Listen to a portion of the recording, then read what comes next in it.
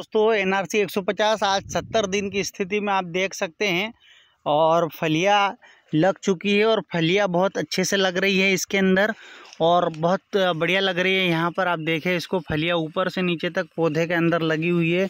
Height बहुत शानदार रही है इसकी और फलिया लगी हुई है। अब देखो दोस्तों, फलिया बहुत सारी है इसमें। बहुत अच्छी फलिया लगी हुई है ऊपर से नीचे तक।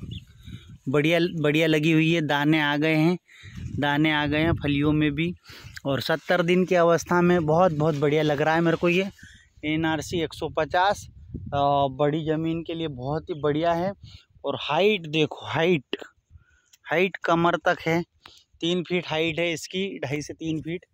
ये देखो दोस्तों एन आर सी एक सौ पचास, ये पूरा आपको खेत जो दिख रहा है एन आर सी एक सौ पचास, नई वेराइटी और कोई रोग, इतना ख़तरनाक रोग नहीं है।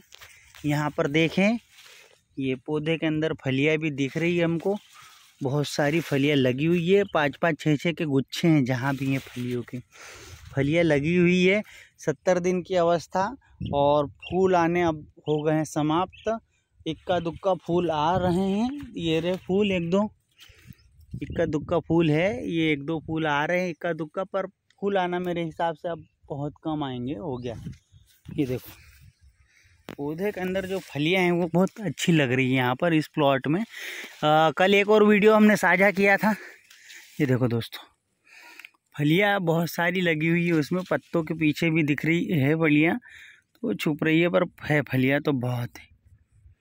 आराम से एक पौधे में। तो कल हमने एक प्लॉट व्यू किया था एन आर सी एक सौ पचास का जिसमें थोड़ा सा कमज़ोर परफॉर्मेंस था पर आज हम देखें तो बहुत अच्छी परफॉर्मेंस है।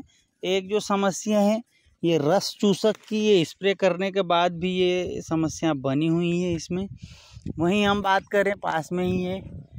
ग्यारह पैंतीस इस तरफ़, वहाँ पर इस तरह कोई समस्या नहीं है। तो आप देखें दोस्तों, बहुत शानदार परफॉर्मेंस और बहुत तगड़ी परफॉर्मेंस है एन आर सी एक सौ पचास के इस प्लॉट की। ये ये नीचे तक फलिया जा रही। नीचे तक, फलिया बिल्कुल नीचे तक लदी हुई है ये। बहुत अच्छी परफॉर्मेंस है और बीज ज़्यादा डल गया है यहाँ पे, फिर भी बावजूद इसके फलिया बहुत ज़्यादा है इसमें। तो आपको ये परफॉर्मेंस कैसी लगी? एन आर सी एक सौ पचास की दोस्तों, आप ज़रूर कमेंट करें। धन्यवाद।